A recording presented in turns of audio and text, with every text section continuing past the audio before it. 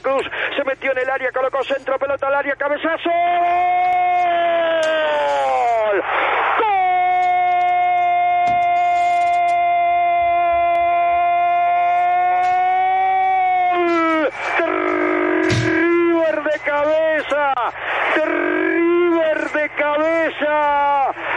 Habrá sido Suárez el encargado de meter la cabeza con la oreja también, la oreja Suárez, para meter de cabeza y con la oreja. El primer gol de River no se le daba hacía mucho tiempo a Suárez y marcó el gol para el equipo del muñeco Gallardo cuando River contra el arco mendocino, pero no tan claro. A los 15 minutos y medio, Suárez de cabeza, River 1, Godoy Cruz de Mendoza 0 corrigió ese mal tiro libre de la Cruz cuando patea y pega en un tobillo. Bueno, en ese rebote de la Cruz corrigió todo. Se fue para la izquierda y con la zurda al centro apareció el oreja, el cordobés con esa muñequera parietal derecho. Gana River 1 a 0 otra vez en Mendoza.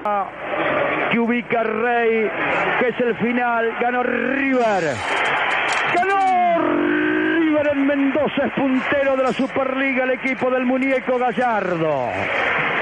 ¿Cómo explicarlo? Lo superó en todo el trámite del partido River con su fútbol, con su elaboración. Erró tanto River. Fue el clásico trámite de partido de los últimos años cada vez que River viene con Gallardo a jugarle aquí a Godoy Cruz de Mendoza, de esos partidos de goleadas que hoy no lo pudo golear. ¿Cuánto error River? Ocho o nueve situaciones contra el arco de Rey por lo menos. Termina ganando con aquel gol de Suárez. Termina padeciendo en el final y termina quedándose con la punta en la Superliga el equipo del muñeco Silvio. Pasó todo eso, tal cual. Gallardo pitó el árbitro y se fue al vestuario. ¿Qué se fue? Caliente, va puntero, está enojado, está fastidioso y yo creo que sí. Generó una docena de situaciones, hizo un gol en Avellaneda, generó dos, hizo dos, jugó bien, jugó mal, después lo discutimos, River es puntero de la Superliga.